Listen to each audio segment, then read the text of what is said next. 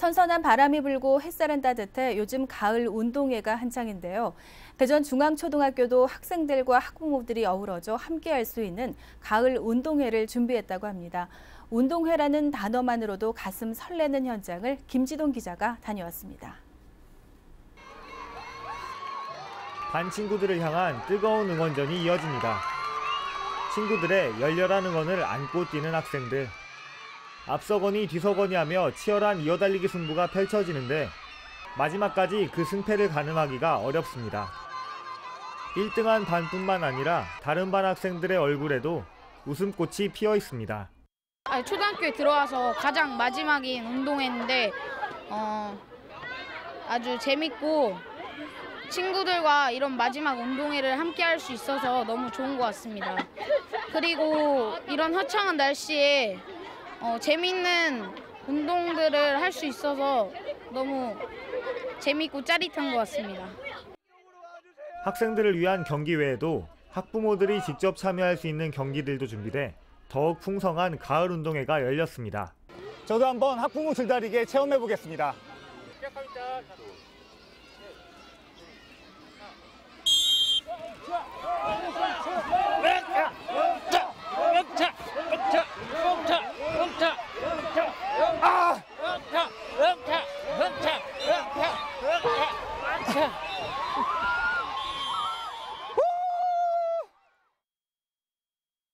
역동적인 운동들이 끝나고 학생들이 각자 운동장 위에 정해진 위치로 이동합니다. 학생들은 가을 운동회 때 부모님에게 보여드리기 위해 지난 시간 동안 갈고 닦은 아기자기한 율동을 선보입니다. 학생들의 깜찍한 율동에 지켜보는 학부모들과 선생들의 입가에서는 미소가 끊이질 않습니다. 아이들하고 짧은 시간 연습하고 했지만 또 연습하는 동안은 아이들하고 굉장히 즐거운 시간 보냈고요. 오늘 이렇게 아이들하고 좋은 추억 남기게 돼서 행복합니다. 감사합니다. 아, 오늘 저희 아이들 운동회라 참여했는데요. 오늘 날씨도 좋고 아이들 준비도 참 잘 돼 있어서 기분이 참 좋습니다. 최근에는 봄 운동회를 개최하는 곳이 점차 늘어나면서 가을 운동회를 여는 학교가 줄어들고 있습니다. 운동회를 연다고 해도 학년별 간단한 체육대회로만 열리는 곳이 많은데 대전 중앙초등학교는 학부모들의 향수를 불러일으키고 학생들이 마음껏 체육 실력을 발휘할 수 있도록 꾸준히 가을 운동회를 개최하고 있습니다. 우리 학교는 가을 운동회를 하기에 아주 적합한 환경입니다.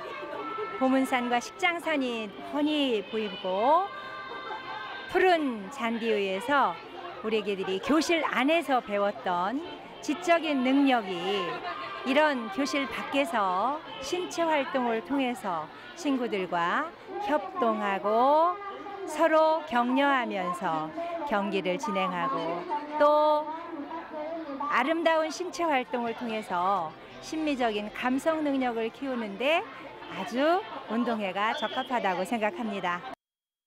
요즘 도심에서는 이런 학교와 운동회들이 많이 없어지고 있는데 저희 학교는 지금 어, 매년 이렇게 학부 한마당 축제가 열려서 아이들과 부모님들 간의 화합과 그런 동심의 시간을 가지고 그 전통을 계속 이어오고 있거든요. 그래서 그 전통을 계속 이렇게 이어갈 수 있어서 음, 참 의미가 있는 행사인 것 같습니다.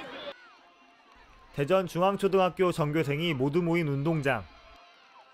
학생들은 친구들과 함께 오랜만에 운동장에서 한껏 뛰어놀며 선생님, 부모님과 함께 즐거운 시간을 보냈습니다. CNB 뉴스 김지동입니다.